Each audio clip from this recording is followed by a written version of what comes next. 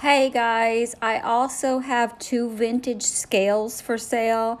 These are, they show the natural patina. Um, they're very old, they're nine by seven each. Um, you can comment below that you would like to have one or two of them. Uh, one is 30, two is 50. The first one to comment, of course, is the winner to purchase.